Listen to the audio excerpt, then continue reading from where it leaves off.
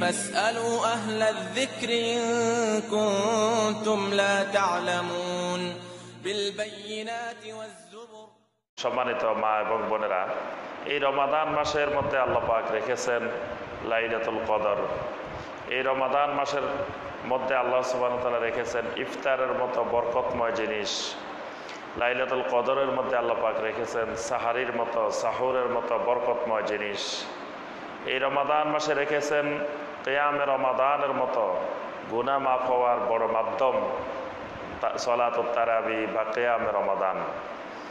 এরপরে এই রমাদান মাসের মধ্যে আল্লাপাক সিয়ামের মতো বরকতময়, গুরুত্বপূর্ণ এবাদতটি, যেটি ইসলামের পাঁচটি আরকানের একটি আরকান, সেটি রমাদান মাসের মধ্যে রেখেছেন। এই জন্য আমরা রমাদান মাসে এই বরকতগুলো লাভ করার চেষ্টা করি। এবং পাশাপাশি জাকাত আদায়ের মাধ্যমে জাকাতুল ফিতির আদায়ের মাধ্যমে, অর্থাৎ অর্থনৈতিক এবাদতগুলো আমরা এই রমাদান মাসে যতটুকু সম্ভব বেশি বেশি করার চেষ্টা করি। এতে আমাদের যেমন শারীরিক পবিত্রতা সৃষ্টি হবে, অর্থনৈতিক পবিত্রতাও আমাদের মধ্যে সৃষ্টি হবে। আল্লাপাক চান আল্লাহর বান্দারা সর্বপ্রকারের শারীরিক, মানসিক, আত্মিক, অর্থনৈতিক সব দিক থেকে পবিত্রতা লাভ করুক। মায়ের রমাদানে আল্লাপাক সব ব্যবস্থাপনা রেখেছেন। সুহার আল্লাহ আমার সম্মানিতা মা এবং বোনেরা, আমরা আজকে একটি হাদিস আলোচনা করব শুধু অল্প সময়ের মধ্যে, আমাদের সময় বেশি নেই। এই সময়ের মধ্যে মা বোনদের কেন্দ্রিক নবী সাল্লা ইসলামের একটি গুরুত্বপূর্ণ হাদিস, যেটি ঐতিহাসিক দলিল। এবং যুগে যুগে এই চোদ্দশো বছর ধরে সালাফ সালেহিনের, আমাদের সম্মানিত মা বোনেরা এই নবী সাল্লামের হাদিসটিকে তাদের জীবনের সফলতার চাবিকাটি মনে করে এটি আমল করার জন্য চেষ্টা করতেন। আমরা আজকের এই ছোট্ট মাজলিসে, আজকের এই সংক্ষিপ্ত মাজলিসে এই হাদিসটা কেন্দ্রিক আমরা কিছু কথাবার্তা আলোচনা করার চেষ্টা করব ইনশাআল্লাহ। হাদিসটি হল আল্লাহ রসুল সাল্লা সাল্লাম বলেন আলমার আত ইদা সল্লাত খামসাহা ওয়া সামাত সাহারাহা ওয়া আহসনাত ফারজাহা ওয়া আতা আত বালাহা। কেইলা লাহা উদখলিল জান্নাতা মিন আইয়া আবওয়াবিল জান্নাহ। সে এতে। আল্লাহ রসুল সাল্লাহ সাল্লাম এই হাদিসের মধ্যে চারটি আমলের কথা বলেছেন। এই চারটি আমল যদি কোনো নারী, কোনো মা বোন যদি এই চারটি আমল করে, তাকে কেয়ামতের ময়দানে আল্লাহ পাক বলবেন, উদুখলিল জান্নাহ। তুমি জান্নাতে প্রবেশ করে যাও সোহান আল্লাহ মিন আইয়ে আবুয়াবিল জান্নাহ। শীতে তুমি জান্নাতের যেই দরজা দিয়ে, যে দিক দিয়ে তুমি জান্নাতে ঢুকতে চাও, সেই দরজাটা দিয়ে ঢুকে যাও সোহান আল্লাহ অর্থাৎ এই নারীর জন্য জান্নাতের সবগুলো দরজা।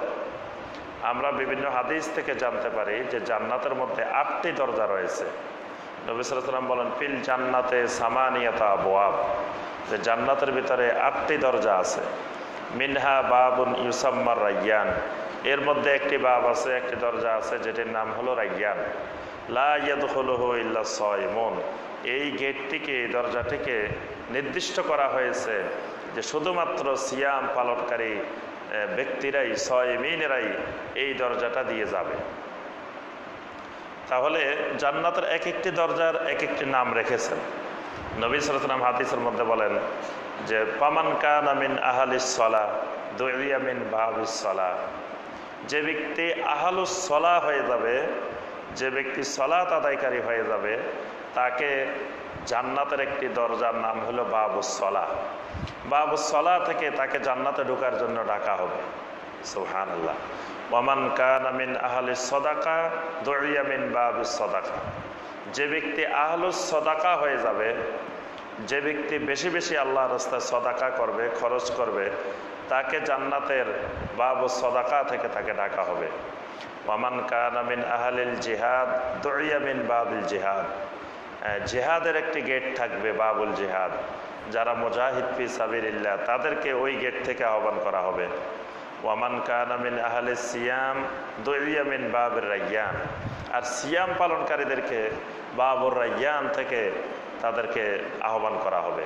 তাহলে বোঝা যায় জান্নাতের ভিতরে আল্লাহ পাক আটটি দরজা রেখেছেন এবং আটটি দরজার আটটি নামও রয়েছে। তো একজন নারী যদি চারটি আমল করে তা আল্লাহ রসুল সাল্লাম বলেন, তাকে জান্নাতের সবগুলো দরজা থেকে আহ্বান করা হবে। সুহান আল্লাহ এবং তাকে বলা হবে যে, উদখলিল জান্না মিন আইয়ে আবোয়া বিল জান্না সে এতে তুমি জান্নাতের যেই দরজা দিয়ে মনে চায়, তুমি জান্নাতের সেই দরজা দিয়ে জান্নাতে ঢুকে যাও। সুহার আল্লাহ তাহলে এই চারটি আমলকে একজন নারী জান্নাতে যাওয়ার জন্য প্রথম পদক্ষেপ হিসাবে কঠিনভাবে এই চারটি আমল শক্ত করে ধরবেন। এক নম্বর আমল যেটি নবী সালাম বলেন আলমার আতো ইদা সল্লাত খামসাহা। প্রথম যে আমলটি, সেটি হলো নারী ইজা সল্লাত খামসাহা, যখন পাঁচ ওয়াক্ত সলাৎ ঠিকমতো আদায় করে। পাঁচ ওয়াক্ত সলাৎ যেভাবে কায়েম করা দরকার, সেভাবে পাঁচ ওয়াক্ত সলাৎ কায়েম করে। ওয়াসামাত শাহরাহা। দ্বিতীয় আমাল যেটি, সেটি হলো রমাদান মাস যখন আসে, তখন এই এক মাস সঠিকভাবে আল্লাপাক যেভাবে সিয়াম পরশ করেছেন, সেই ফরজিয়তের আলোকে সিয়াম পালন করে। তৃতীয় যে কাজটি, সেটি হলো ওয়া আতা, ওয়া আহসানাত পারজাহা একজন নারী তার সতীত্বকে, তার পর্দাকে, তার হেজাবকে সঠিকভাবে, যথাযথভাবে পালন করে। ওয়া আতা বা আলাহা চতুর্থ আমাল যেটি, সেটি হলো তার স্বামীর আনুগত্য করে। এই চারটি আমলকে নবী সাল্লা ইসলাম বলেন যে, জান্নাতের সবগুলা দরজা তার জন্য খোলা হয়ে যাওয়ার বড় মাধ্যম হলো এই চারটি আমাল। এজন্য আমার সম্মানিত মা ও বোনেরা, আমরা এই চারটি আমাল সম্পর্কে, যে চারটি আমাল সম্পর্কে নবী সাল্লা ইসলাম বলেছেন, আমরা এই আমালগুলো সম্পর্কে সংক্ষিপ্ত আলোচনা করার চেষ্টা করব ইনশাআল্লাহ। প্রথমে আসি এক নম্বর যে আমলটি নবী সাল্লাম বলছেন আলমার আত ইদা সল্লাত খামসাহা। যেই নারী, যেই মহিলা পাঁচ ওয়াক্ত সলাদ সঠিকভাবে আদায় করবে। সলাতের ব্যাপারে আমরা সবাই সলাতের গুরুত্ব কম বেশি সবাই আলহামদুলিল্লাহ জানি। নামাজ এটাকে আমাদের দেশীয় পরিবেশায় যেটিকে আমরা নামাজ বলে থাকি, কোরআন সন্ন্যার পরিবেশায় যেটি সলাৎ। এই সলাতের ব্যাপারে আমাদের মা বোনেরা তৎপর থাকেন তবে মাঝে মধ্যে মা বোনদের বড় সমস্যা হলো তারা নির্ধারিত ওয়াক্তে সলাদগুলো আদায় করেন না। মা বোনদের সলাদ বেশি বেশি কাজা হয়। অর্থাৎ এক ওয়াক্তের সলাদ আরেক ওয়াক্তে চলে যায়, আরেক ওয়াক্তের সলাদ আরেক ওয়াক্তে চলে যায়। দেখা যায় আসরের সলাদ, মা বোন রান্নাবান্না করতে গিয়ে, ইফতারি বানাইতে গিয়ে আসরের সলাদ কাজা হয়ে যায় বা আসরের সলাদ একেবারে শেষ মুহূর্তে চলে যায়। আবার বিভিন্ন কারণে পারিবারিক কাজকর্মের কারণে। দেখা যায় মাগরিবের সলাদ এসায় চলে যায়। অর্থাৎ ঠিক মতো ওয়াক্ত অনুযায়ী সলাদগুলো আদায় করা হয় না। অথচ আল্লাহ পাক সলাদ খরচ করেছেন ওয়াক্তের হিসাব অনুযায়ী। আল্লাহ রসুল সাল্লাম বলেন যে সলাদটি আদায় করতে হয় ওয়াক্ত অনুযায়ী। এই জন্য নবী সাল্লাহ সাল্লাম সলাতের শুরু ওয়াক্ত, শেষ ওয়াক্ত নবী সাল্লাহ সাল্লাম নির্ধারণ করে দিয়েছেন। আল্লাহ পাক কোরআনে কারিমে বলছেন, ইন্না সলাতা কানাত আলাল মুমিনিনা কিতাবা মাওকুতা যে আল্লাপাক সলাৎ পরশ করেছেন নির্ধারিত ওয়াক্ত অনুযায়ী। অর্থাৎ সলাৎ আদায় করতে হবে নির্ধারিত সময়ে, নির্ধারিত ওয়াক্তে। এই ব্যাপারে খুব খেয়াল রাখতে হবে যে আমার সলাদগুলো হবে নির্ধারিত সময়ে, নির্ধারিত ওয়াক্তে। ওয়াক্তের এই দিক সেদিক আমার সলাদগুলো হবে না। এখানে নবিসাম জান্নাতে দেওয়ার শর্ত হিসাবে যেটি বলছেন যে ইজা সল্লাত খামসাহা, এই খামসটা নবিসাম এখানে নির্ধারিত করে রেখেছেন, বলেছেন। অর্থাৎ পাঁচবার এটি পাঁচ ওয়াক্ত একবারে না, পাঁচ ওয়াক্ত দুইবারে না, পাঁচ ওয়াক্ত পাঁচবারেই আদায় করতে হবে। জান্নাতে যাওয়ার জন্য এটি গুরুত্বপূর্ণ শর্ত। আর সলাদবিহীন কারও পক্ষে জান্নাতে যাওয়া সম্ভব না। কারণ এমন কোনো ব্যক্তিকে আমাদের ময়দানে থাকবে না, যেই ব্যক্তির থেকে আল্লাহ সুবানতালা সলাতের হিসাব নেবেন না।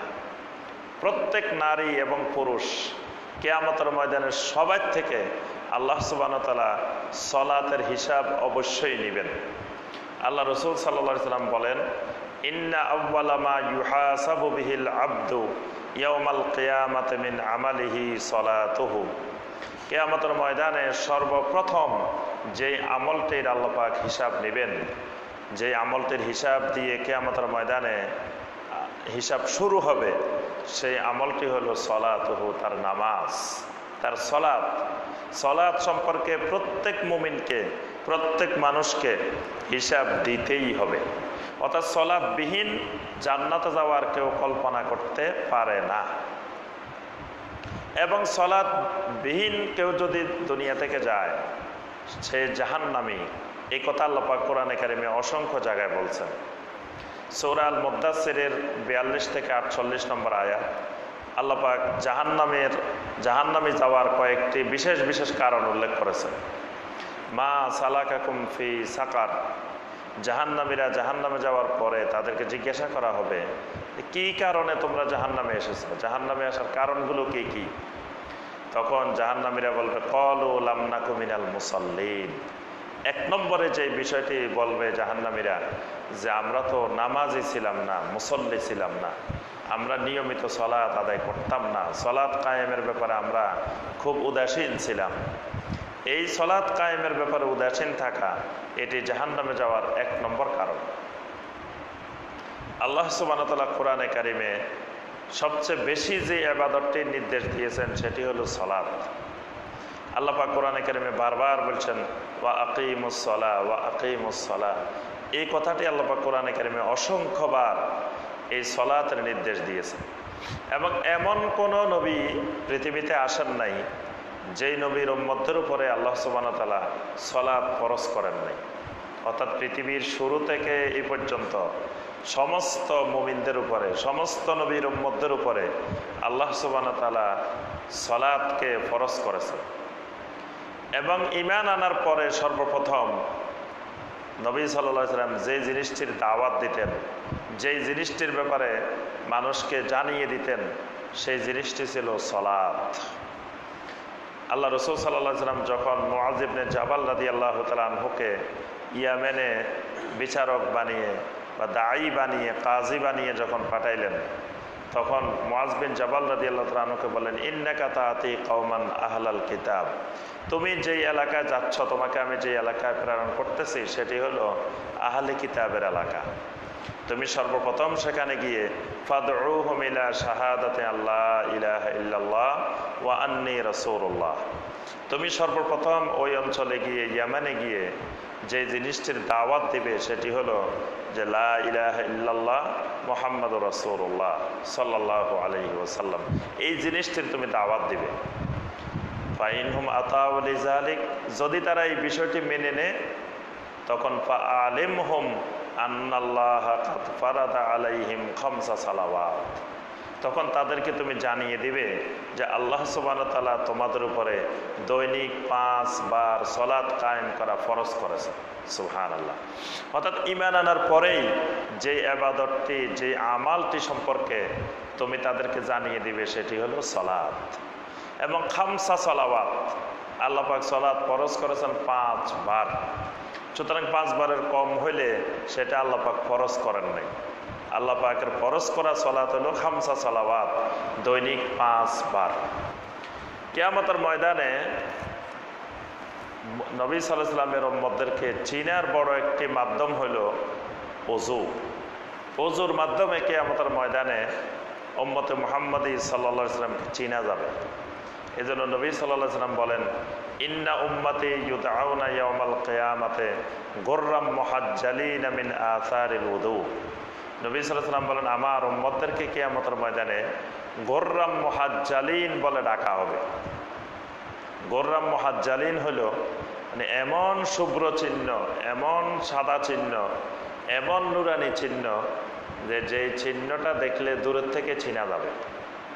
অর্থাৎ কেয়ামতের ময়দানে অজুর যে অঙ্গ প্রত্যঙ্গগুলো আমরা হাত ধুই মুখমণ্ডল ধুই পা ধুই এই অঙ্গগুলো থেকে নূর চমকাতে থাকবে। কেয়ামতের ময়দানে আমাদেরকে দেখলে বোঝা যাবে যে এরা উম্মতে মোহাম্মদী সাল্লা ইসলাম কারণ এদের অজুর অঙ্গগুলো থেকে নূর চমকাচ্ছে, নূর বের হচ্ছে। নবিসাম বলেন, মিনা আসারুল বধু এই নূরটি তৈরি হয়, গোর্রাম মুহাজ্জালিন হয় অজুর কারণে।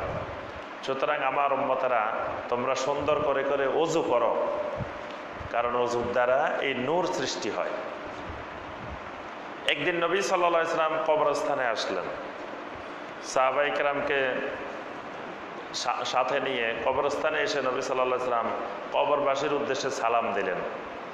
আসসালামু আলাইকুম দারা কৌমি মিনিন ওয়া ইন্না ইনশা আল্লাহ হবিকুম লাহিকুন সালাম দেওয়ার পরে নবী সাল্লাম বলতেছেন ওয়াদিত্ত আন্না কাদরা আইনা এখওয়ানানা যে আমার মনে চাচ্ছে আমি যদি আমার ভাইদেরকে একটু দেখতে পারতাম, আমার কাছে খুব ভালো লাগতো। তো সাহাবাইকেরাম জিজ্ঞাসা করলেন, ইয়া রসুল্লাহ সাল্লাম আমরা কি আপনার ভাই না? নবী সাল্লাম বলেন আন্তম আসহাবি, তোমরা হইলে আমার সাথী, তোমরা হইলে আমার বন্ধু, তোমরা আমার সাহাবি। ওয়া আমার ভাই হলো তারা, যারা এখনও পৃথিবীতে আসে নাই। তো সাহাবাইকেরাম জিজ্ঞাসা করলেন, ইয়া রসুল্লাহ সাল্লাহ ইসলাম যেই ভাইয়েরা এখনও পৃথিবীতে আসে নাই, আপনি কি আমাদের দিন তাদেরকে চিনবেন কীভাবে? নবী সালাম বললেন যে, অসংখ্য গোড়ার মধ্যে যদি কিছু গোড়া থাকে, যেগুলো গুর্রুম মহাজ্জালাতন যেগুলো সাদা চিহ্ন থাকে, কোপাল, কোপালে বিভিন্ন জায়গায় চাঁদের চিহ্ন থাকে, এইরকম গোড়াগুলো চেনা সহজ না? ঠিক আমার উম্মতের অজুর কারণে, আমার উম্মতের অজুর অঙ্গ প্রত্যঙ্গগুলো থেকে নূর চমকাতে থাকবে, নূর বের হতে থাকবে। সেগুলোর মাধ্যমে আমি চিনে যাব এরা আমার উম্মত। সুহান আল্লাহ এরপরে সলাতের সাথে সম্পৃক্ত যতগুলো আবাদত আছে প্রত্যেকটি আবাদতের আল্লাপাক অসংখ্য ফজিলত রেখেছেন। এই জন্য আমার সম্মানিতা মা এবং বোনেরা, সলাতের ব্যাপারে আমরা কোনো ধরনের গাফলতেই করব না। সলাতের ব্যাপারে সবসময় সযত্ন থাকব। আল্লাপাক কোরআনে কারিমে অসংখ্যবার এই সলাতের ব্যাপারে যত্নবান হওয়ার নির্দেশ দিয়েছেন। হাফেজ আল্লাহ সলাওয়াত ও সলাতুল বুস্তা যে তোমরা সলাতের প্রতি যত্নবান হও। এই জন্য আমরা প্রথম এটি আমার ঠিক থাকবে যে আমি সলাতের ব্যাপারে সার্বক্ষণিক তৎপর থাকব। এটি আমার এক নম্বর কাজ। এবং ঠিক এই কাজটি আমি আমার স্বামীকে সলাতের ব্যাপারে তৎপর থাকার জন্য আমি উদ্বুদ্ধ করব। যাতে আমার পরিবারে আমার স্বামী, আমার ছেলে, আমার মেয়ে, আমার পরিবার সবাই যেন নামাজি এবং নামাজের ব্যাপারে তৎপর থাকে। আমার ছেলেদেরকে আমি যখন জামাতের ওয়াক্ত হবে, সুন্দর করে সাজিয়ে মসজিদে পাঠিয়ে দিব। বাবা মসজিদ থেকে সলাদটাই আদায় করে আসো। ফজরের সময় হবে, ছেলেদেরকে ডেকে আমি মসজিদে পাঠাই দিব। মেয়েদেরকে বাসায় নিয়ে সলাৎ আদায় করব। অর্থাৎ এই সলাদটি মুসলিম সমাজের এক নম্বর কালচার অর্থাৎ মুসলিম পরিচয়ের বড় পরিচয় এই জন্য আল্লাপাক কোরআনে কারিমে সুরাল বাকারার একশত তেতাল্লিশ নম্বর আয়াতে আল্লাপাক সলাদকে ইমান শব্দ দিয়ে আল্লাপাক ব্যাখ্যা দিয়েছেন। আল্লাপাক বলছেন, ওয়ামা কান আল্লাহ ইমান আকুম আমি তোমাদের ইমানকে ধ্বংস করতে চাই না ইমান নষ্ট করতে চাই না। এখানে ইমান অর্থ হলো সলাৎ। অর্থাৎ ইমান আছে, সলাৎ আছে। ইমান নাই, নামাজ নাই, সলাৎ নাই। এই জন্য আমাদের ঘরগুলাই হবে একটা ইমানি ঘর এবং যেই ঘরে সৌন্দর্য বৃদ্ধি করবে সলাৎ। যেই পরিবারে স্বামী, স্ত্রী, ছেলে, মেয়ে সবাই সুন্দরভাবে সলাৎ আদায় করবে, সেই পরিবারটা হবে একটি সুন্দর পরিবার, আদর্শ পরিবার, নুরানি পরিবার, ইসলামী পরিবার। এই কাজটি আমরা প্রথমে করার চেষ্টা করব ইনশাআল্লাহ। দ্বিতীয় যে কাজটি মা বোনদেরকে নবী সাল্লা ইসলাম দিয়েছেন, সেটি হলো ওয়াসমাত শাহরাহা। রমাদান মাসের সিয়াম পালন করা। রমাদান মাস যখন আসবে, তখন সিয়ামগুলো যথাযথভাবে, সুন্দরভাবে আদায় করা। এই দায়িত্বটি আল্লাহ রসুল সাল্লা ইসলাম মা বোনদের জান্নাতে যাওয়ার শর্ত হিসাবে উল্লেখ করেছেন। আমার সম্মানিতা মা এবং বোনেরা, সেই রমাদান মাস এখন আমাদের সামনে উপস্থিত। এই রমাদান মাসে আমরা সিয়ামগুলোকে যথাযথভাবে আদায় করার চেষ্টা করব। তবে সিয়ামের কিছু আদাব আমাদেরকে রক্ষা করতে হবে। আমরা দেখা যায় অনেক সিয়াম পালন করি আমরা সবাই, কিন্তু আমাদের দেশের মা বোনেরা, বিশেষ করে মা বোন কেন্দ্রিক যেহেতু আমাদের আলোচনা, মা বোনদের মধ্যে সিয়ামের কিছু আদাবের সমস্যা আছে। সিয়ামের কিছু আদাব রক্ষা করা হয় না। বেশি ঘাটতে লক্ষ্য করা যায়।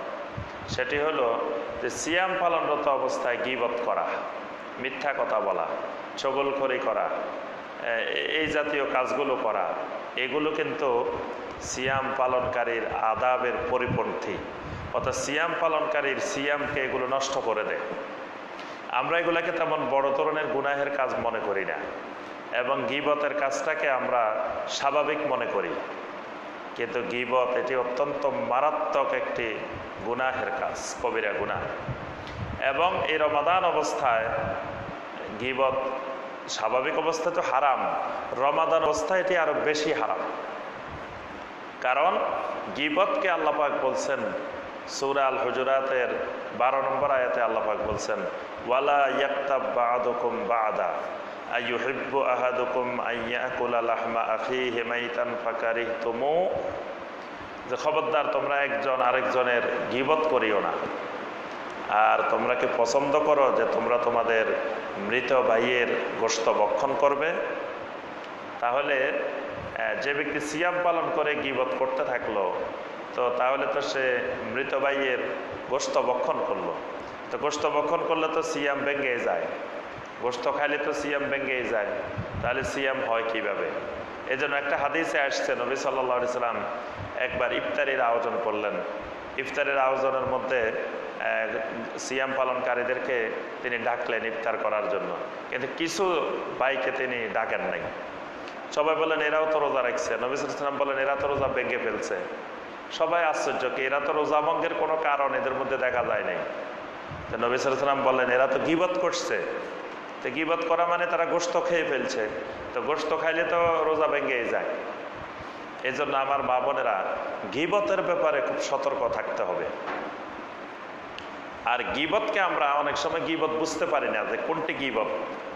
আমরা মনে করি যে কারও পিছনে মনে হয় মিথ্যা কথা বলা, এটাকেই মনে হয় গিবত বলা হয়। কিন্তু আসলে কারও পিছনে মিথ্যা কথা বলা, এটি গিবত না। কারও পিছনে মিথ্যা কথা বলা, এটি গিবতের থেকে আরও বড় অপরাধ। এটিকে হাদিসের ভাষায় বলা হয় বহতান, মিথ্যা অপবাদ। কিন্তু গিবত বলা হয় সত্য জিনিসটা, যেটি তার পিছনে বললে তার পছন্দ হয় না, অপছন্দ হয়। নবী সাল্লাম গিবতের সংজ্ঞা দিয়েছেন এইভাবে জিক্রুকা আখা বিমা ইয়াকরা যে তোমার যে বোনের পিছনে বা যে ভাইয়ের পিছনে তুমি কথা বলতেছো, সত্য কথাটাই, কিন্তু এটা তার পিছনে আলোচনা হোক, এটা সে পছন্দ করে না। এইরকম সত্য কথাটা তার পিছনে, তার অবর্তমানে বলা, এটাকেই শরীয়তের ভাষায় বলা হয় গিবত। এই গিবটটি দেখা যায় আমরা সিয়াম পালন করেও আমাদের মধ্যে গিবত অব্যাহত থাকে।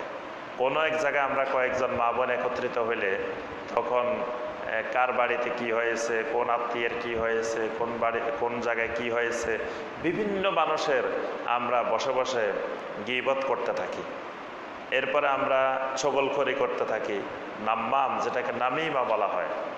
যে এক দুজনের পিছনে বিভিন্ন কথাবার্তা লাগাই দিয়ে দুজনের মধ্যে ঝগড়া লাগাই দেওয়া দুজনের মধ্যে বিরোধ তৈরি করে দেওয়া। এটাকে শরীয়তের ভাষায়, হাদিসের ভাষায় বলা হয় নামিমা। আল্লাহ রসুল সাল্লাম বলেন লাহুল জান্নাতা যে এরকম ছগলখোর, যারা এরকম দুজনের মধ্যে ঝগড়া বিরোধ লাগিয়ে দেয়, যে এদেরকেও, এরা কেউ জান্নাতে যাবে না, জান্নাতে প্রবেশ করবে না। এদের কঠিন কঠিন শাস্তির কথা নবী সাল্লা ইসলাম হাদিসে বর্ণনা করেছেন। এরপরে মিথ্যা কথা বলা। অনেক সময় দেখা যায় মিথ্যা বলতে চায় না, তারপরও মিথ্যা মুখ দিয়ে চলে আসে।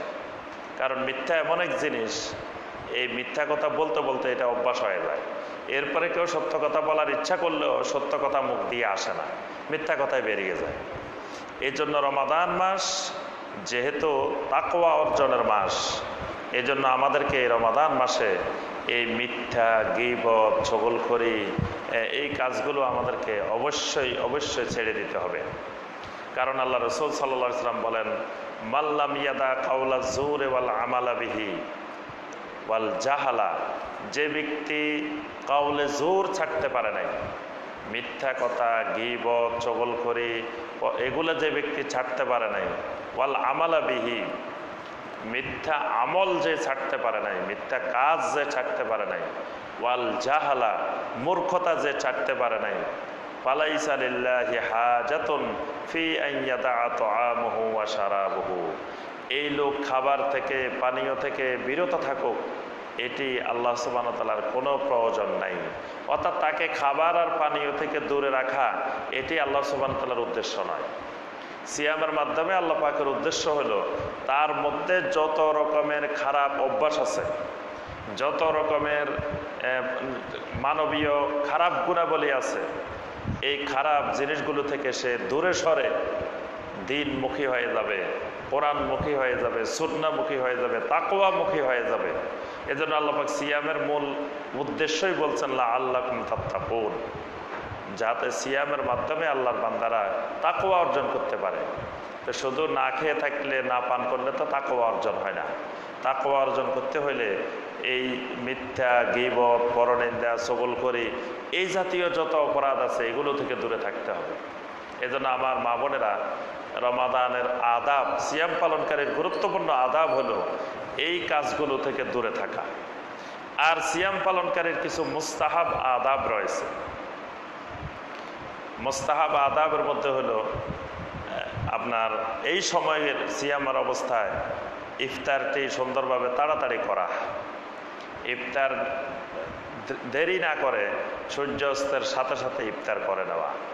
আল্লাহ রসুল সাল্লাহ ইসলাম বলেন, আমার উম্মত ততক্ষণ পর্যন্ত কল্যাণের উপরে থাকবে। মা ইয়াজাল উন্নাস বেখাইরিন লা আমার উম্মত যতক্ষণ তাড়াতাড়ি ইফতার করবে, এতক্ষণ কল্যাণের উপরে থাকবে। সুবহান আল্লাহ কিন্তু আমরা দেখা যায় অনেক সময় ইচ্ছা করে ইফতারি দেরি করি। মা বোনেরা বেশি করেন। যে বলেন যে সারাদিন উপবাস রয়েছি আর পাঁচ মিনিট, দশ মিনিট দেরি হলে অসুবিধা কি? কিন্তু আল্লাহ পাক এই ক্ষেত্রে তাড়াতাড়ি ইফতার করাটা, সূর্যাস্তের সাথে সাথে ইফতার করাটা এটি আল্লাহ সুবাহ তালা খুব পছন্দ করেন। এরপরে সাহারি খাওয়া। সাহারি খাওয়াটা একটু বিলম্বে খাওয়া, অর্থাৎ শেষ দিকে গিয়ে খাওয়া। এ কিন্তু দেখা যায় আমাদের অনেক মা বোন এবং অনেক ভাইয়েরাও এ রমাদান মাসেও গান বাজনা ছাড়তে পারে নাই। গান, বাজনা, নাটক, টিভি এগুলো দেখতেই থাকে এবং এগুলো দেখতে দেখতে রাত অনেক হয়ে যায়, রাত এইভাবে অতিবাহিত করে। কিন্তু রমাদান মাস তাকুয়া অর্জনের মাস। এই জন্য আমার সম্মানিতা মা এবং বোনেরা যাদের গান শোনার অভ্যাস আছে, আমরা গান শোনা, তারপরে বিভিন্ন টিভির সিরিয়াল দেখা, এগুলো আমরা রমাদান মাসে বন্ধ করে দিই। রমাদান মাসে আমরা এগুলো থেকে দূরে থাকার চেষ্টা করি, তাহলে আমরা রমাদানের পরেও ইনশাআল্লাহ দূরে থাকা আমাদের জন্য সহজ হয়ে যাবে। গান ইসলামে অবশ্যই একটি হারাম জিনিস, কবিরা গুণা এবং বর্তমানে আরও ফেতনা উম্মতের জন্য যে ইসলামী গানের সাথেও বাদ- বাদ্যযন্ত্র বাজিয়ে অনেক গান বর্তমানে বের হয়েছে। অনেকে মনে করে এখানে কথাগুলো তো ইসলামী, কথাগুলো তো ভালো। কিন্তু কথা যত ভালোই হোক, কিন্তু বাজনা দিয়ে, বাদ্যযন্ত্র দিয়ে গান, বাজনা ইসলামে জায়েজ নেই।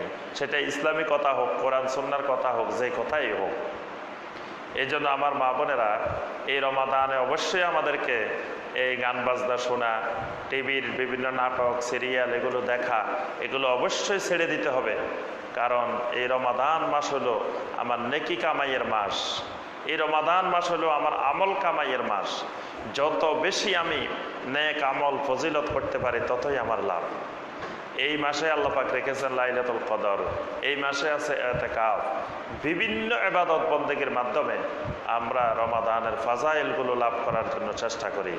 আল্লাহ পাক আমাদেরকে তৌফিক দান করুন।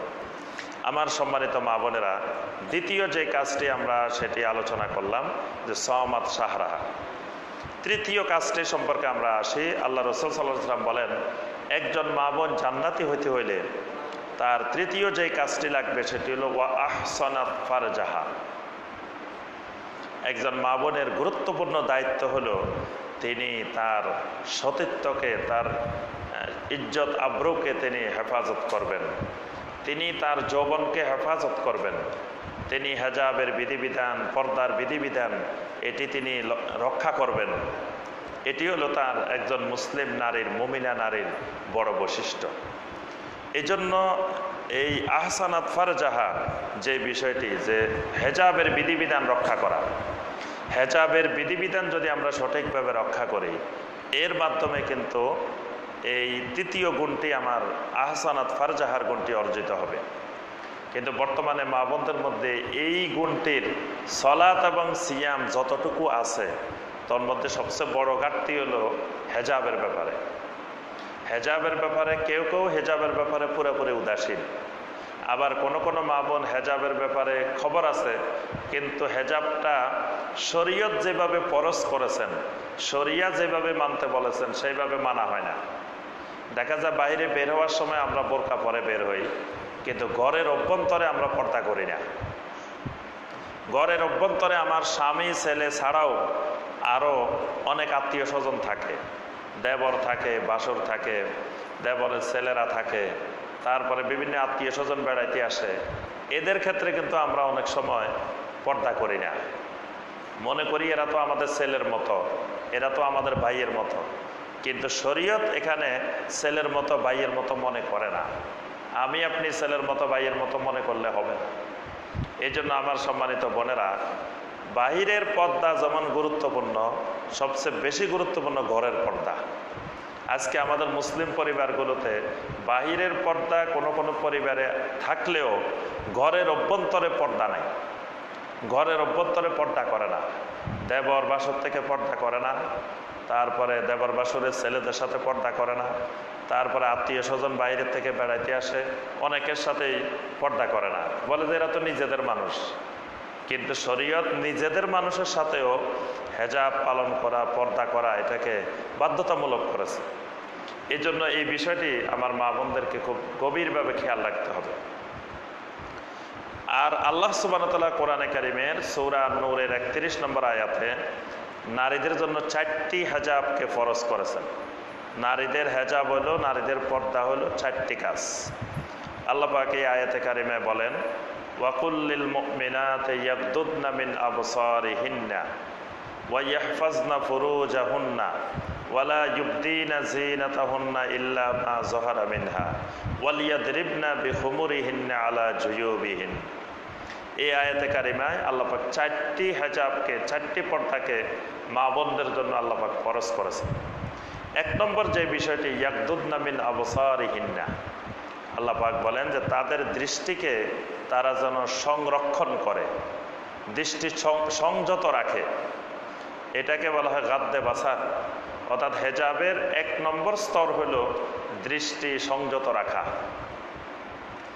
দৃষ্টি সংযত রাখা, এটি খুবই গুরুত্বপূর্ণ একটি বিষয়। তবারানের হাদিসের মধ্যে এসেছে, আল্লাহ রসুল সাল্লাহ সাল্লাম বলেন, ইন্নান নজরা সাহামন মিন সিহাম ইবলিস মাসমোমন। বিষাক্ততার দিক থেকে ইবলিসের তীরের থেকেও দৃষ্টির তীর অধিক বিষাক্ত। অর্থাৎ ইবলিস যে তীর ব্যবহার করে, সেই তীরের থেকেও মানুষের দৃষ্টিটা এটি আরও বিষাক্ত। মান তারা কাহা মাখাফাতি আবদাল তুহু ইমানান আল্লাহ রসুল সাল্লাম বলেন, যে ব্যক্তি আল্লাহর ভয়ে এই দৃষ্টিকে সংযত করবে আল্লাপাক তার ইমানটাকে এমনভাবে পরিবর্তন করে দিবেন, ইউজিদু ফি কালবিহি। সেই তার কালবের মধ্যে ইমানের মজা ইমানের স্বাদ সেই উপভোগ করতে থাকবে। সুহান আল্লাহ ইমান কিন্তু খুব মজার একটি জিনিস, অত্যন্ত মজাদার। কিন্তু মজাদার যদি ঠিকমতো রান্না করতে না জানে, তাহলে কিন্তু খাবারটি মজাদার থাকে না। ঠিক ইমানটা খুব মজার জিনিস, কিন্তু ইমান মজা পাওয়ার জন্য যে ইমান দরকার সেরেক মুক্ত যে ইমান দরকার বেদাত মুক্ত যে ইমান দরকার, সেই ইমান না থাকার কারণে আজকে আমরা ইমানের মজা পাই না, ইমানের স্বাদ পাই না। আল্লাহ রসুলাম বলেন ইমানের মজা পাইতে হলে দৃষ্টি সংযত রাখতে হবে। দৃষ্টি সংযত না থাকলে ওই লোক ইমানের মজা পাওয়া সম্ভব না। আয়সা রাদি আল্লাহ তালানহা আমাদের সম্মানিতা আম্মা যান এবং পৃথিবীর সেরা মহাদ্দিসদের মধ্যে একজন অন্যতম সেরা মহাদ্দিসা মা আমাদের। তিনি বনু মোস্তালিকের যুদ্ধের সময় যখন তার হার গলার হার হারিয়ে গেল, যখন তিনি সফওয়ান ইবনে সফওয়ান রাদি আল্লাহ তালানহুর যখন সর্বশেষ থেকে গেলেন, সফওয়ান রাদি আল্লাহ তালুকে যখন দেখলেন, সফওয়ান ইবনে মোয়াত্তাল রাদি আল্লাহ তালুকে যখন তিনি দেখলেন, তখন হাদিসের মধ্যে সহিয়াল বখারি এবং সহি মুসলিমের হাদিসে আসছে। আয়সারাদি আল্লাহ তালা বলেন, ফা আরাফানি হিনারা আনি সফওয়ান ইবনে মুআত্তাল যখন আমাকে দেখলেন, তিনি চিনে ফেলছেন। ওয়াকানা কাদরা আনি কাবলাল হেজাব। কারণ তিনি আমাকে হেজাবের বিধান নাজিলের আগে দেখেছিলেন। ফাস্তাই কাস্তুবি এস্তার জাই হেইনা আরাফানি। যখন তিনি আমাকে দেখলেন চিনে ফেললেন, তখন আমি পড়ে উঠলাম ইন্না লিল্লাহি ওয়া ইন্না ইলাইহি রাজিউন। ফা খামারতু ওয়াজহি আমি আমার চাদর দিয়ে মুখমণ্ডলকে ডেকে ফেললাম। সুবহানাল্লাহ। অর্থাৎ তখন বিপদের মুহূর্ত যে সবাই তাকে রেখে চলে গেছেন, তিনি একাকী একটি জায়গায় রয়ে গেছেন। তারপরেও সেখানে তিনি হেজাবে লঙ্ঘন করেন নাই। সফওয়ান ইবনে মুআত্তাল যদিও তার পরিচিত, তাকে হেজাবের আগে দেখেছেনও কিন্তু তিনি তাকে দেখার সাথে সাথে ফা খামার তুয়াজহি বিজাল বাবি তিনি বলেন, আমার চেহারাকে আমি সাথে সাথে ডেকে ফেললাম। একজন সম্মানিত মা ছিলেন উম্মে খাল্লাদ রাদি আল্লাহ তালহা সুনানে আবু দাউদের হাদিস। এই মায়ের ছেলে যুদ্ধে শহীদ হয়ে গেছে, কিন্তু তার হেজাবের কোনো লঙ্ঘন হয় নাই। যে মায়ের ছেলে শহীদ হয়ে যায়, ছেলে মারা যায়, ওই মায়ের কি অবস্থা আপনারা ভালো করে জানেন। এরকম মা, কিন্তু তার কোনো পর্দার সামান্য লঙ্ঘন হয় নাই। তো সবাই আশ্চর্য হয়ে গেল যে, মা, আপনার পর্দার কেন লঙ্ঘন হলো না? তখন তিনি বললেন, ইন আরুজ্জা ইবনি ফালান আরুজ্জা হায়াই। দুনিয়ার মানুষ, শুনো, আমি আমার সন্তান হারিয়েছি, কিন্তু আমি আমার ইমান হারাই নাই। সোহান আল্লাহ সন্তান হারাইতে পারি, কিন্তু আমি তো আমার ইমান হারাই নেই। এমনকি আল্লাহ রসুল সাল্লা সাল্লাম সহি মুসলিমের হাদিসে বলছেন যে জেনা শুধুমাত্র বেবিচারের মাধ্যমে হয় না, চোখের মাধ্যমে জেনা হয়। নবিসাম বলেন আল আইনানে জানা হুমান নজর চোখের জানা হলো দৃষ্টি, কানের জানা হলো শোনা, মুখের জানা হলো কথা বলা। এভাবে প্রত্যেকটি অঙ্গ প্রত্যঙ্গের জানা রয়েছে। সুতরাং দৃষ্টির মধ্যেও জানা রয়েছে। এই আমাদেরকে খেয়াল রাখতে হবে যে আমরা যেন দৃষ্টিকে সংযত রাখি। এটা হলো এক নম্বর হেজাবের কাজ। দুই নম্বর কাজ যেটি আল্লাপাক বলেন যে, ওয়াইয়াহফাজনা ফুরু জাহুন্না যে তোমরা তোমাদের যৌবনের হেফাজত করো। এই হেফাজতে ফুরুজ। সৌরাল মেনুনের মধ্যে আল্লাপাক জান্নাতে যাওয়ার জন্য যে বৈশিষ্ট্যগুলো বর্ণনা করেছেন তন্মধ্যে গুরুত্বপূর্ণ একটি বৈশিষ্ট্য হল ওয়াল্লাদিন হুমলি ফুরুজিহিম হাফেজুন যারা তাদের যৌবনকে তারা তাদের যৌনাঙ্গকে হেফাজত করে, এটি জান্নাতুল ফেরদাউস পাওয়ার গুরুত্বপূর্ণ একটি শর্ত। এই জন্য আমার মা বোনেরা, আমাদেরকে অবশ্যই পর্দার বিধিবিধান, হেজাবের বিধিবিধান অবশ্যই মেনে চলতে হবে। তিন নম্বরে যে কথাটি আল্লাপাক বলছেন তিন নম্বর বিষয় বলছেন, ওয়ালা ইউদ্দিনা জিনাতাহুন্না ইল্লা মা জহরা মিনহা। তোমাদের জিনাতকে তোমাদের সৌন্দর্যকে বাহিরে প্রকাশ করিও না। যেটা তোমাদের ইচ্ছার বাহিরে প্রকাশ পেয়ে পড়ে, সেটা ভিন্ন কথা। তবে তোমাদের ইচ্ছাকৃতভাবে তোমাদের সৌন্দর্যকে জিনাতকে বাহিরে প্রকাশ করিও না। অর্থাৎ জিনাতের ভিতরে যতটুকু অংশ, অর্থাৎ হেজাবের মধ্যে অনেক সময় হাত, আমাদের হাতের কবজি, তারপরে পায়ের পাতা, এগুলো কিন্তু হেজাবের বাহিরে। কিন্তু এগুলোর মধ্যে যদি কোনো সৌন্দর্য থেকে যায়, তাহলে কিন্তু এগুলো হেজাবের বাহিরে যাবে না। তখন হাত মোজা লাগানো ফরজ হয়ে যায়, পায়ের মোজা লাগানো ফরজ হয়ে যায়।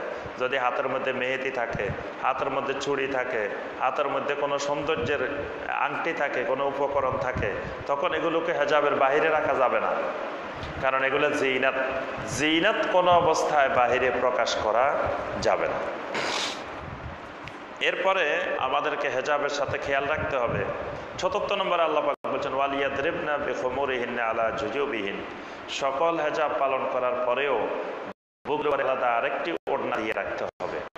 অনেক বোন আজকে দেখা আমাদের যে টাইট এমনভাবে বোরকা পরে যে শরীরের সব অঙ্গ প্রত্যঙ্গ বোঝা যাচ্ছে, প্রকাশ পাচ্ছে। এটি শরীয়তের দৃষ্টিতে হেজাবের আওতাভুক্ত হবে না। ঢিলে ডালা এবং যেটা শরীরের কোনো অবয়ব প্রকাশ করে না এবং উপরে আরেকটি ওড়না পরা, এটিকেও আল্লাপাক পরশ করে দিয়েছেন। মহিলাদের একাকী সফর করাকে হারাম করা হয়েছে, এটিও হেজাবের আওতাভুক্ত। অর্থাৎ কাছে কিনারে আশেপাশে হইলে ভিন্ন কথা, কিন্তু দূরে যেটা সফর বোঝানো হয়, এরকম কোনো সফরে মাহরাম ছাড়া সফর করা যাবে না। আল্লাহ রসুল স্পষ্ট করে বলছেন, লা ইয়াখলুবান্না রাজুলুন ইল্লা ওয়ালা মারআতু ইল্লা এবং মুসলিমের হাদিস, যে কোনো মাহরামবিহীন কোনো মহিলা যেন সফর না করে। আজকে আমাদের সমাজে অনেক সময় দেখা যায়, অনেক মহিলা এখন হজেও চলে যায় ওমরায়ও চলে যায়, মাহারাম ছাড়া, দীর্ঘ সফরে চলে যাচ্ছে। অথচ মাহারাম ছাড়া নিজের দেশের ভিতরেও দূরে কোথাও সফরে গেলে মাহারামবিহীন সফরে যাওয়া ইসলামে অনুমোদিত নেই। মা বোনদের আরও কিছু হেজাবের খেলাপ বিষয় আছে, যেমন পরচুলা লাগানো, সৌন্দর্য বর্ধনের জন্য পরচুলা লাগানো, উল্কি আঁকা, ভ্রু প্লাক করা এগুলো হেজাবের খেলাফ, এগুলো পর্দার খেলাফ, এগুলোর মাধ্যমে গুণা হয় এবং এদের উপরে আল্লাহ রসুল সাল্লা ইসলাম লানত বর্ষণ করেছেন যে যে সকল নারী এই জাতীয় কাজগুলো করে, এদের উপরে আল্লাহ সুবাহতাল্লাহ লানত। এই জন্য খেয়াল রাখতে হবে, অনেক মা বোনকে আমরা দেখি পর্দাশীল, কিন্তু আবার গ্রুপ লাগ করে। এরকম মা বোনও দেখা যায়। তো এটাও পর্দার খেলাফ হেজাবের খেলাফ এটি হারাম কাজ। ব্রো প্লাক করা যাবে না, দাঁতগুলোকে সৌন্দর্য বর্ধনের জন্য চিকন করা যাবে না। এই জাতীয় কাজগুলোর ব্যাপারে খেয়াল রাখতে হবে। পুরুষ নারীর পোশাক পরা, নারী পুরুষের পোশাক পরা, এটাও হেজাবের খেলাফ এই বিষয়টা খেয়াল রাখতে হবে যে এদের উপরেও আল্লাপাক লানত করেছেন। যারা পুরুষেরা নারীর পোশাক পরে, নারীরা পুরুষের পোশাক পরে, এদের উপরে আল্লাপাকের লানত। এরপরে আমাদের মা বোনদেরকে খেয়াল রাখতে হবে যে সবসময় এমন পোশাক পরিধান করতে হবে যে পোশাক সলাত আদায়ের ক্ষেত্রে সহায়ক, এবাদত বন্দীগীর ক্ষেত্রে সহায়ক। বিশেষ করে শাড়ি পরা, এটি ইসলামে হারাম নয়। তবে শাড়ির থেকে যদি আমরা পায়জামা, জামা পরিধান করি, এটার মাধ্যমে আমাদের হেজাব বেশি রক্ষা হয় এবং আল্লাহর আবাদত বন্দেগী করতে সহজ হয়। কারণ আমরা যদি শাড়ি পরে চলাত আদায় করি, তাহলে অনেক সময় দেখা যায় আমাদের সতরের কোনো কোনো অংশ খুলে যাওয়ার সম্ভাবনা আছে। হাত দেখা যেতে পারে, কোমরের কোনো অংশ খোলা রাখা যেতে পারে, চুলের কোনো অংশ বের হয়ে যেতে পারে, তাহলে কিন্তু সলাৎ হবে না। এই জন্য এমন পোশাকগুলোকে পছন্দ করতে হবে, এমন পোশাক পরিধান করতে হবে যে যে পোশাকগুলোর দ্বারা আমার এবাদত বন্দেগি করতে সহজ হয়। মহিলাদের জন্য চুল কাটা, চুল ছাটা, এগুলো সম্পূর্ণরূপে হারাম। আজকে দেখা যায় আমাদের অনেক মা বোন চুল লম্বা রাখতে চান না, চুল কেটে কেটে ছোট করেন, চুলের বিভিন্ন ডিজাইন করেন। জামিয়াতের মিজির হাদিস, আল্লাহ রসুল সাল্লাহ ইসলামের সহি হাদিস, নাহা রসুল্লাহ সাল্লাহ সাল্লাম আম তাহলে কালমার আতারা আসাহা নবী সাল্লাম নারীদেরকে মাথা মুন্ডন করতে নিষেধ করেছেন। সহি মুসলিমের হাদিস, আল্লাহ রসুল সাল্লা ইসলামের স্ত্রীদেরকে নবী সাল্লা ইসলাম চুল কাটতে, চুলের বিভিন্ন ডিজাইন করতে নবী সাল্লা ইসলাম নিষেধ করেছেন।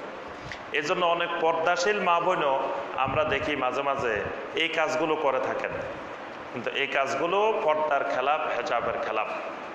আমার সম্মানিত মা এবং বোনেরা, তাহলে তিন নম্বর কাজটি আমরা পেলাম আহসানাত পারজা চতুর্থ যে সর্বশেষ কাজটি সেটা আসি আমরা, সেটা হলো আতা বা আলাহা স্বামীর আনুগত্য করা। স্বামীর আনুগত্য করা স্ত্রীর উপরে ফরস আল্লাহ সুবানতাল্লাহ এটিকে ফরস করে দিয়েছেন।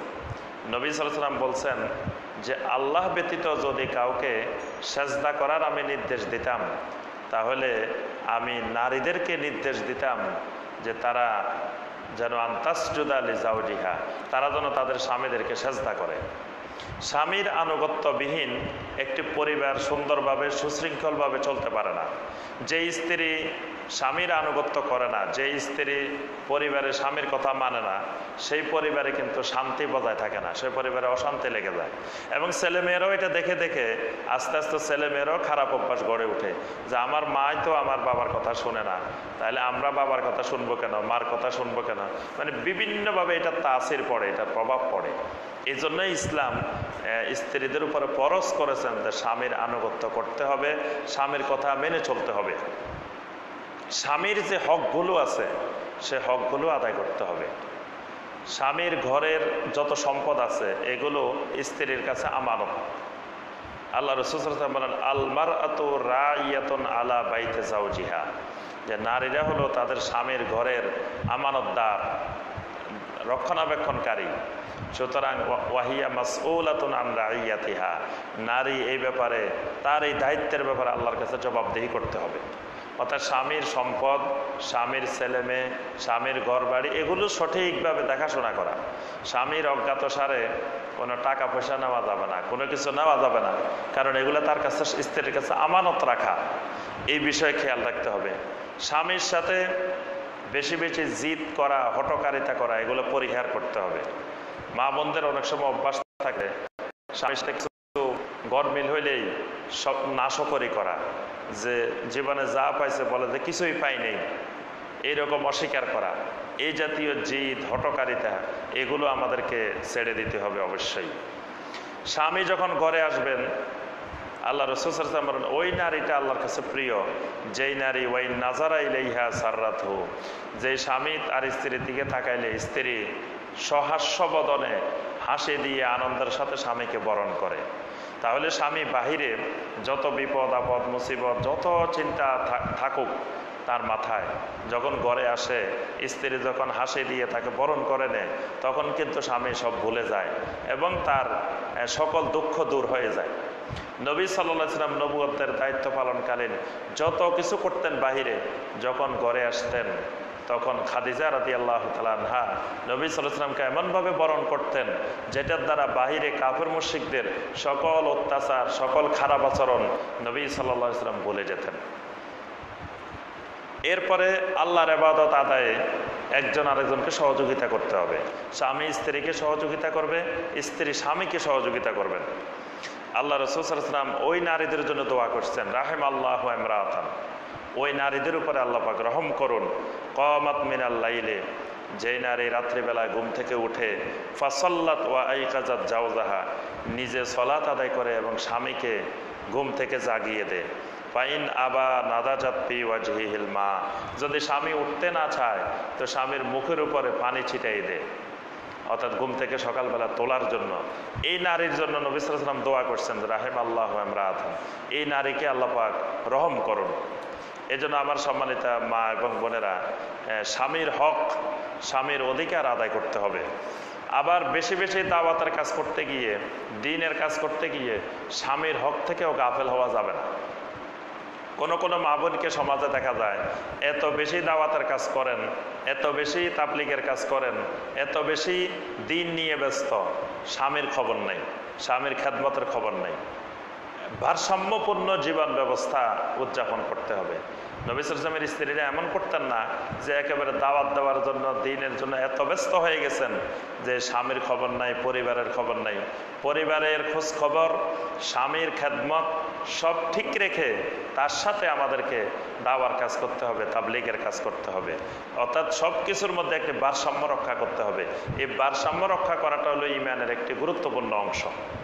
সম্মানিতা মা এবং বোনেরা, আমরা আর আলোচনা বেশি দীর্ঘায়িত করব না তো আমরা যে কথাটি অনুরোধ করব যে আলোচনা তো অনেক দীর্ঘ আলোচনা, কিন্তু সংক্ষিপ্ত সময়ে আমরা যে হাদিসটি আলোচনা করার চেষ্টা করেছি, এই চারটি আমলকে আমরা খুব শক্ত করে আমাদের জীবনে ধরার চেষ্টা করব এবং আমাদের অন্যান্য মা বোনদেরকেও এই চারটি আমালের প্রতি আমরা খুব উদ্বুদ্ধ করব।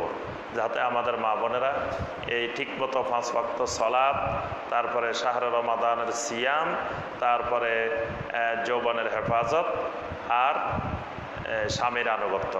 এই চারটি আমাল যাতে সুন্দরভাবে হক সহ আমরা আদায় করতে পারি, আল্লাহ সুবান তালা আমাদের সবাইকে সে তৌফিক দান করুন।